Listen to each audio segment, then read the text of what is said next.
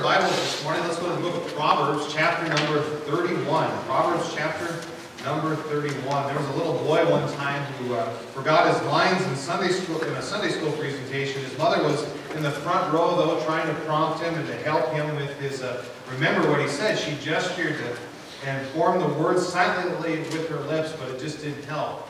Her son's memory had just gone blank completely with what he was about to say. So finally she leaned forward and whispered the cue to her son. He said, I am the light of the world. The child beamed with great feeling and a loud, clear voice said, My mother is the light of the world. Amen. you know, across our nation today, we are celebrating and honoring a very special office, the office of, of motherhood. It's an office that's so high that God included its honor in the Ten Commandments, where it said, honor thy father. Of course, today we're honoring thy mother. So needless to say, God highly honors the office, and, and we should as well. Because we owe a great deal of debt to those who brought us into this world and nurtured us through our early years, and even beyond that.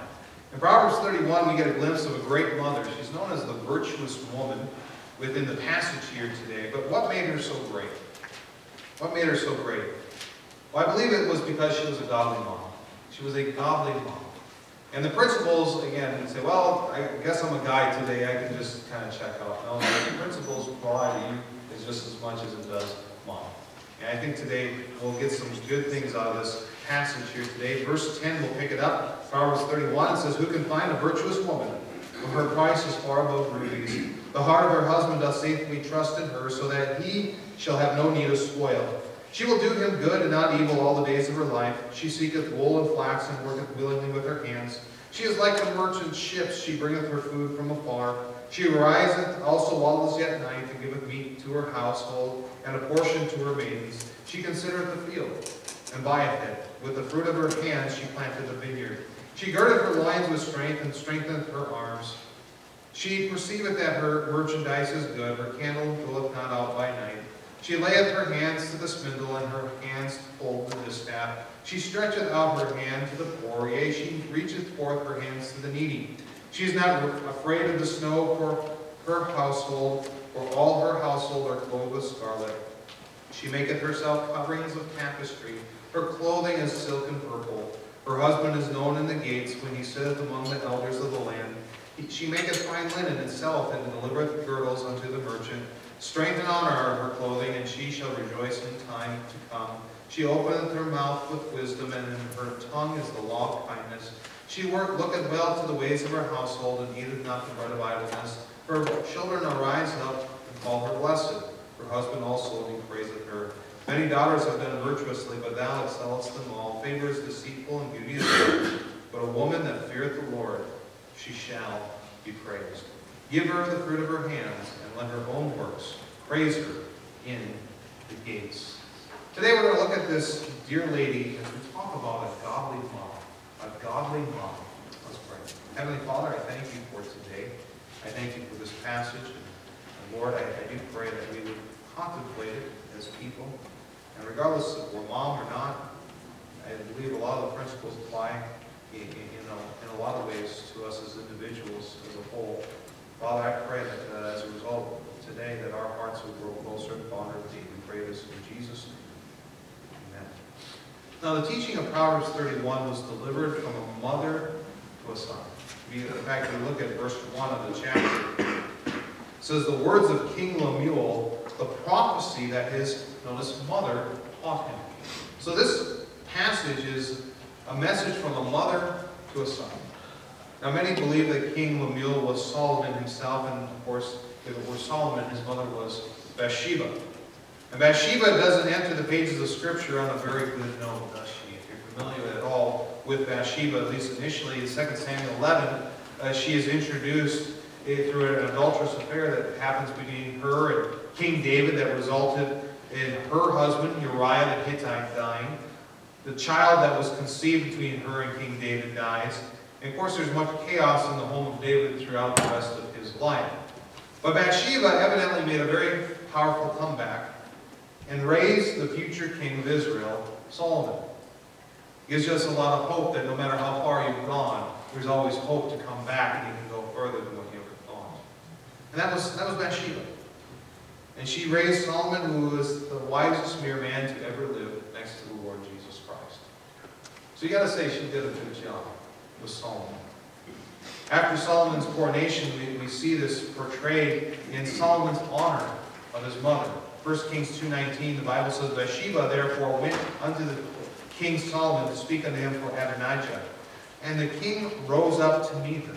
Now he's king. And bowed himself under her. That's a lot of respect. And sat down on his throne and caused a seat to set for the king's mother, and she sat on his right hand. So the minute she approached him, he gets down and he bows down to her. And he said, all right, get a, get a chair for mom and let her sit right next to me. Again, this was Solomon in his position as king. the, the, the king of Israel pretty powerful at that time. And here he is showing great respect to his mother. Evidently, Bathsheba was a good mind despite, you know, some past mistakes that she had made. And it was evident in the life of Solomon. She evidently took her office of motherhood very seriously. And there was evidently a very special relationship between her and Solomon. Proverbs 4, verse 3, Solomon writing, For I was my father's son, and tender and only beloved in the sight of my mother. There was a great connection, there was a great relationship between Solomon and Bathsheba. And it plays out in, in his life. It made the difference in Solomon's life, not just in Solomon's life, but also in the lives of those on whom he ruled. I mean, it'd be nice to be under the under the headship of the wisest man to have ever lived, wouldn't it?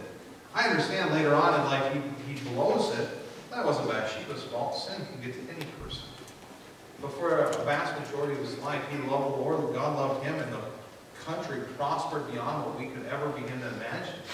Very powerful. They had peace unlike any type of peace. And uh, that, that impact, most people don't think about the impact that Bathsheba really had upon Solomon's life, and David too, but, but we're focusing on the mom part today. Godly moms have the ability to really make a difference that transcends their own lives. And, and maybe sometimes we, we have to remember that today, moms. I, I understand, and we'll talk about this in a little bit, but Sometimes it is, feels maybe like a thankless job. But what you're doing is really making a difference in a life that you don't know where God's going On April 23, 2008, Dr. Michael DeBakey received the Congressional Gold Medal for his legacy in heart surgery. President Bush said about him, his legacy is beholding the fragile and sacred gift of human life in his hands and returning it unbroken. During the ceremony, Dr. DeBakey invented uh, uh, excuse me, invented many medical devices and operations, performed the first successful heart bypass operation, and saved countless lives. A little known fact is that his mother taught him to sew as a child, and he used that skill in developing new operations to save lives. He said, my mother's teachings inspired me again in the early 1950s when I designed a graft for replacing a diseased aorta and arteries. I chose the then new synthetic cloth Dacron I drew the design on paper next, cut the fabric, and finally put the prototype together at home on my wife's Singer sewing machine. Crazy. I mean, the impact of a life, of a mother, transcended and, and helped so many lives because of what she did. No doubt today, if you are a mom, I don't doubt you want to make a difference too. You want to see your children make a difference. You want to have a godly heritage, if you will. And every mom can. I think if they take heed to some simple truths that we find within our text here today, that'll be a help in making you into a godly mom and say, well, I'm not a mom yet. Well, maybe, Lord willing, one day you will be. And these are some truths that you can, can uh, bottle up for later, if it works. First off, a godly mom is righteously motivated. She is righteously motivated. What makes a mom godly? I believe it starts with the motivations of her heart. Look at verse 30 of our passage here. Favor is deceitful and beauty is vain, but a woman that feareth the Lord, she shall be praised. Notice here, this woman, this virtuous woman, she fears the Lord. She fears the Lord. In other words, she has the highest respect and honor and esteem for God in her life. God has a very high position in her life. And in fact, that position is number one. You know, it's not second to, to career, it's not second to self, it's not second to any money, it's not second to anything else. It is, it is number one. God is number one. She fears the Lord. She respects who God is in her life, respects who He is, respects the fact that one day she'll stand before Him, and this is her motivation to do right. The opinions of people mean nothing in comparison to what God's opinions are, and she holds those in high esteem. She feels that God desires her foremost love and obedience. Why? We see in Matthew 22, verses 36 through 37, Jesus is asked the question, Master, which is the great commandment in the law? Jesus said unto him, Thou shalt love the Lord thy God with all thy heart, with all thy soul, and with all thy mind. That's the first and great commandment. The virtuous woman has made God the number one love of her life, of all her heart, soul, mind. There's another passage that mentions strength. That's number one. All the actions we read about in Proverbs 31, and we read through several of them, about the virtuous woman, again, who was a mom, I believe was driven from a heart of love for God. That's where it all comes from. That's the, that's the reason why we do it. Anything in the Christian life is because we love God. We want to please Him. We want to honor Him. That's the first and great commandment. And it's not easy doing the jobs of motherhood, is it?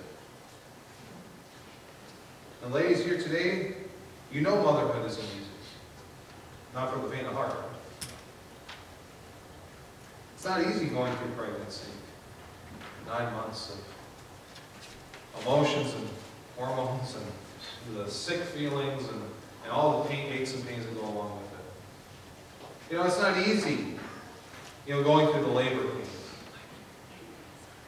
It's not easy having the sleepless nights afterwards as the baby just can't figure out if it's night or day. You know, it, it's not easy uh, feeding the baby. It's not easy changing diapers. God help us, right?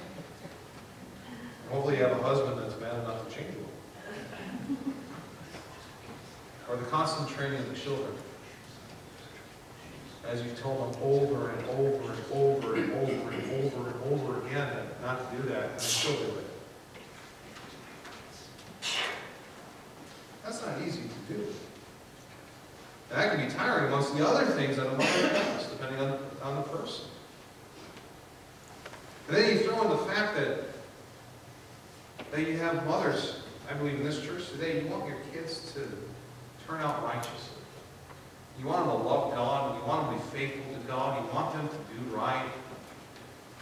Well, that makes it, that's even tougher. Because you're fighting the world, the flesh, and the devil for the hearts of your children. Right? And that's a constant battle. Constant battle. What's going to keep you going? What's going to keep you doing, wanting to do those things? A righteous motivation. A righteous motivation. In other words, I'm doing this job for God because I love Him. That's what's going to keep you going. That's what's going to keep you, you know, pressing on, pressing forward, and going to battle every day. well, sometimes it's a battle, I know. It's a battle. But it's that righteous motivation because I want to see things turn out. And even if kids go beyond and, and they don't turn out the way, you know what, it's still not done. Because you still fight for them through the prayer closet, still love them and be there. Because there's going to come a day if you love them, love them and you're there for them and you keep praying for them, they're going to say, God, I, I mean, Mom, I need some help. I'm away from God, and, and I know that you have the answer.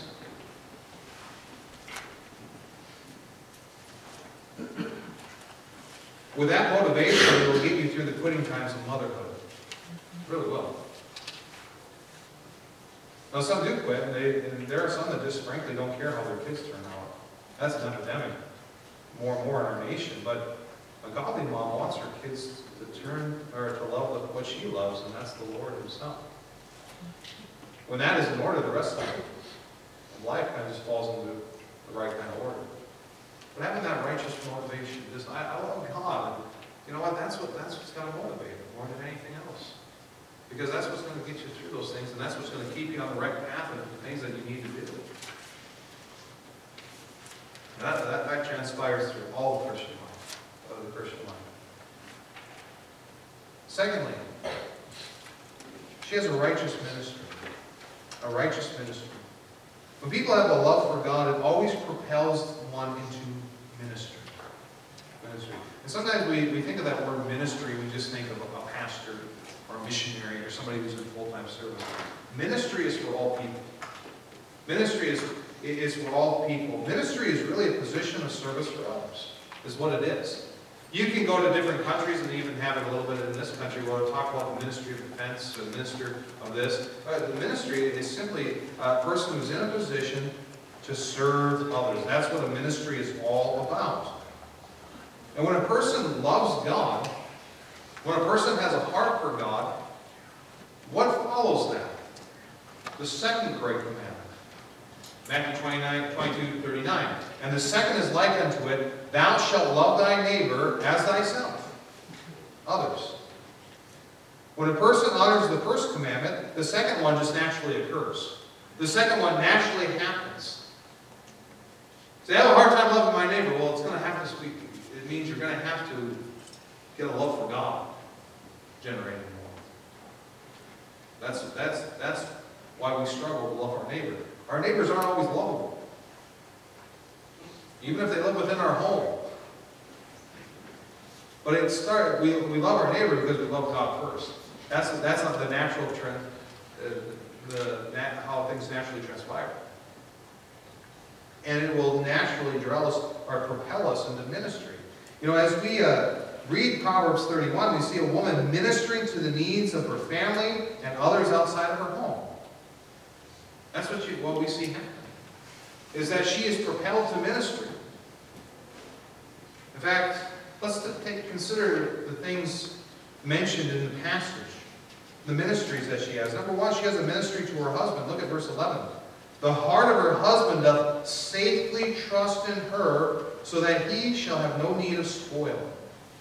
Look at verse 12. She will do him good and not evil all the days of her life. First off, she has a ministry to her husband. She's a ministry to her husband. She fulfills her duties to her husband joyfully. She is seeking to be a blessing to him, to do him good. In other words, she maintains a good relationship with him. And can I say that is very critical. The relationship between husband and wife in a home. When a husband and wife don't get along in a home, everything else is going to fall apart. It always happens. It starts there. And she's striving to maintain a good relationship with her husband because she knows how critical that is. A poor relationship, again, will always bring down the home. Proverbs 14.1 says, Every wise woman buildeth her house, but a foolish one plucketh it down with her hands. See that? There is the man's side, but today we're dealing with the woman's side, so be gracious with me. Every wise one builds a house. How do you build it? Well, one way is, of course, fulfilling your role as a woman. Married. I'm about homes. A poor relationship will always pull down the home. Every time. And that's why, you know, the man has his duties and uh, the lady has her duties. Well, my husband isn't coming through with his duties. That does not give you an excuse to not fulfill yours. God is making you accountable to what you're supposed to do, as much as He will make you accountable to your husband. Doesn't matter. See, we never have an excuse not to do right, regardless of who we are. Never do. God still holds us accountable for doing right. We can't blame others for our actions. I, I understand some, some areas are tougher than others. I'm not trying to be heartless, but I am saying uh, a wise lady, a virtuous woman, a godly mom, will understand that her kids, if she wants her kids to turn out right, that her dad have to get along. Her dad have to, have to iron out differences sometimes. Her and dad have to work things out. Her and dad have to learn how to do things right. If there's trouble between the spouses, there will be trouble with the kids. There will always be trouble with the kids. A godly mother understands that her relationship with her husband is significant to the success of their home. So she learns God's principles of being a wife and strives to fulfill them with God's help. And yes, we need God's help. I understand that. I need God's help to be the husband I'm supposed to be. Number two, her children. Throughout the chapter, we see the, the wise woman here, the godly woman, the virtuous woman, working very hard to make sure that her household is taken care of. Look at verse 15. She riseth also while it is yet night, and giveth meat to her household and a portion to her maidens. Look at verse 21. She is not afraid of the snow for her household, for all her household are clothed with scarlet. Look verse 26. She opens her mouth with wisdom, and in her tongue is the law of kindness. Verse 28. Her children rise up and call her blessed, her husband also praise of her. To a godly mom, her children are a blessing from God. Psalm 127, verse 3 is a sweet verse. It says, Lo, children are a heritage of the Lord, and the fruit of the womb is his reward. Verse about children. I know they don't always feel like it, but they are a reward nonetheless. They are souls that God has entrusted to her for the purpose of training and guiding them to bring God glory. That's why they're there. Because every life entrusted has a great potential in making a difference throughout all eternity. Very sobering to think about, but very exciting too, John and Charles Wesley were mighty preachers used of God during the First Great Awakening in this country that saw, thousands of souls come to know Christ as Savior. Really transformed the direction of this nation. Charles Wesley once said this about his mother, Susanna. He said, I learned more about God from my mother than from all the theologians in England. Powerful statement. But she was a testimony. She had 19 kids, by the way.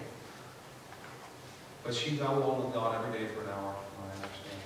She prayed. She taught, and by her example and so forth. I'm sure she wasn't perfect. I'm sure she had her problems. But John Charles could see that what their mother had was real. It was very real. It made a difference in their lives. Charles Haddon Spurgeon, a Baptist preacher from the 1800s, saw many people come to Christ. Very influential soul winner desire to see people come to Christ. He said this, I cannot tell how much I owe to the prayers of my good mother. Abraham Lincoln, one of our famous presidents, said, no one is poor who had a godly mother. There are lots of great quotes that exist out there. But Scripture tells us of some good moms as well. Think of Sarah, the husband of Abraham. I mean, she put up a lot with Abraham, let me tell you something. Uh, there, there's some stories where Abraham did some things up that was not wise. Plus, they, you know, plus they, they were living life by faith in an area that was outside of their home. And uh, she, she was a good mom, and she eventually got Isaac and raised him, and he turned out well. And then there's Ruth. You know the story of Ruth. It's a sweet story there. It's just four chapters long in the Old Testament. But she was a Moabitess, God has put her into the lineage of Jesus Christ, which is a very, very big honor. But she was called a virtuous woman herself. Evidently, she reflected, I think, a lot of the characteristics that you see here in Proverbs 31. But she raised a son by the name of Obed, who had a son by the name of Jesse, who had a son by the name of David. And uh, she continued that line that regards. Of course, we talked about Bathsheba.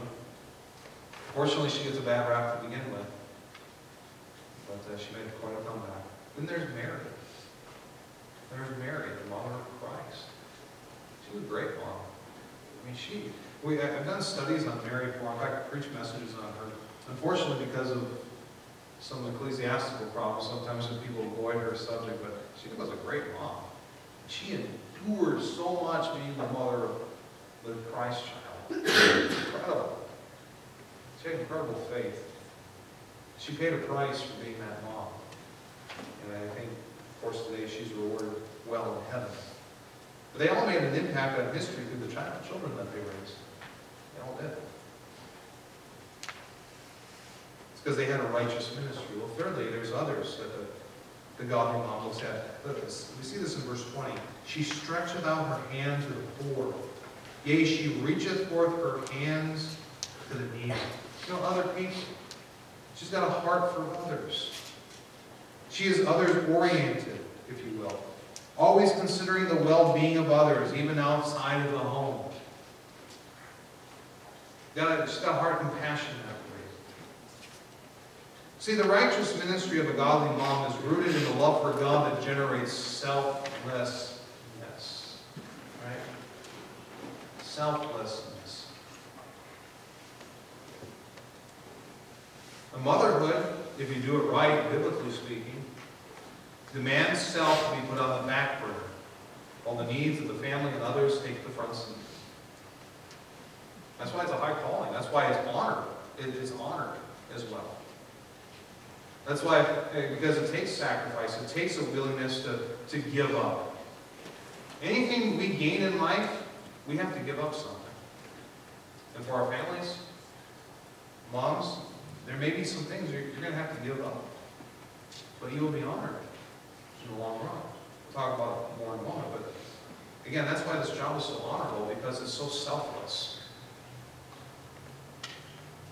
It, it is so selfless. It- there's so much sacrifice from, from the beginnings of the pregnancy until, until the child was raised, and even afterwards.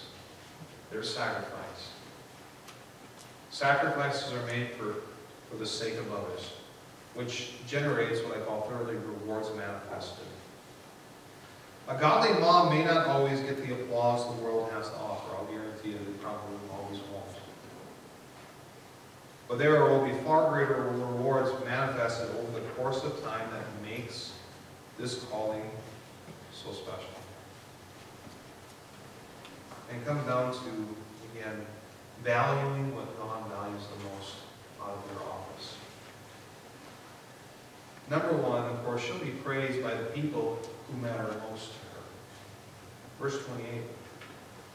Who matter most will her children rise up and call her blessed. Call